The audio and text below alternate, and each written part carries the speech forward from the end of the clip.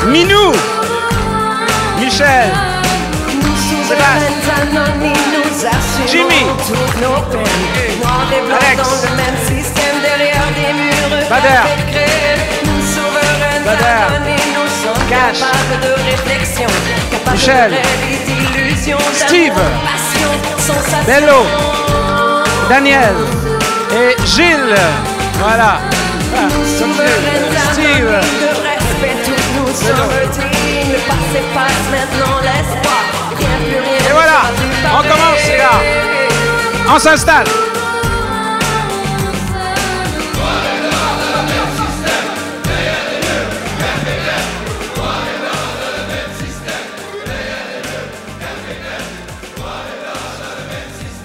Rien plus rien ne sera plus pareil. Un chat. Salut Denis, salut Rabat. Je suis heureux de vous rencontrer aujourd'hui, moi et mes camarades souverains. Nous souhaitons une très bienvenue. Nous avons écouté le film L'Ange de Goudron et nous en avons discuté beaucoup. En écoutant l'histoire, chacun s'est rappelé un peu notre propre histoire. Des histoires que moi j'ai raconté la mienne à Mohamed. Et en la racontant, je me suis rendu compte que ça ferait un bon film. Un très bon film à part ça. Mais ça, Noé, je te le raconterai plus tard. Nous, notre thème, notre thème dans cette émission, on se concentre, on essaie de surtout se concentrer et faire des réflexions sur le silence. Il faut reconnaître que le silence, c'est un ami qu'on n'aime pas fréquenter souvent, parce que c'est un ami qui est toujours un peu trop honnête avec nous, justement à cause de un ami. Il nous raconte souvent des choses que l'on veut pas vraiment connaître. Il raconte souvent des choses qu'on veut pas vraiment connaître. Mais à notre émission, comme par hasard, nous, notre trip, c'est de connaître les rapports de nos invités avec le silence. Donc, avant de te parler de ton film L'Ange de Goudron, nous allons te poser une petite question sur le silence. Alors, silence, on pense.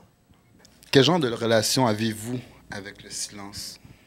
Euh, le silence, moi j'ai une relation très ambiguë avec parce que de par le métier que je fais, euh, c'est un métier très frénétique où on est toujours euh, en relation avec beaucoup de monde.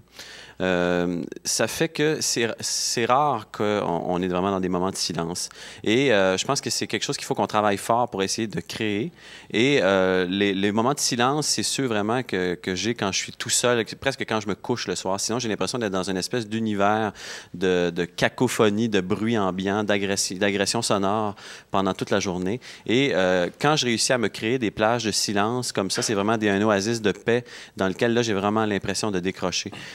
Aussi parce que partout où on va, il y a toujours de la musique, euh, que ce soit dans un centre d'achat ou dans un ascenseur, il y a toujours du son. Le, bruit, c'est devenu omniprésent. Et euh, je crois que ça a complètement dénaturé d'ailleurs le rapport qu'on a à la musique par rapport à l'écoute des gens.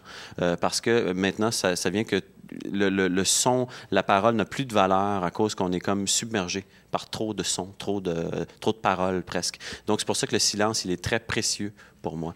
Et j'aime beaucoup m'y retrouver. Et qu'est-ce que le silence vous dit?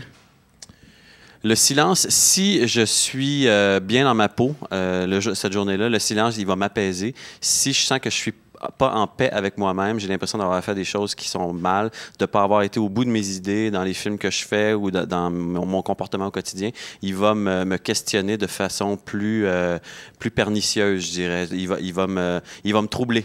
Donc, ça dépend vraiment de mes états d'âme, je dirais. Le silence, il peut presque me faire peur par moment.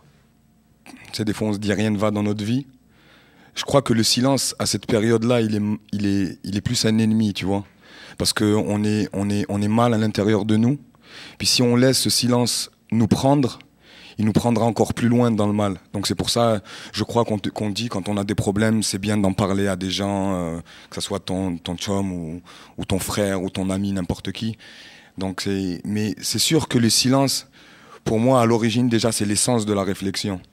Ça veut dire, euh, c'est sûr que quand Denis va écrire un livre, il va pas l'écrire euh, dans une station de métro, tu vois, pour se concentrer avec les passages de métro. Quand moi, je vais écrire une chanson, c'est sûr que je vais l'écrire tard chez moi, le soir, avec le moins de bruit possible.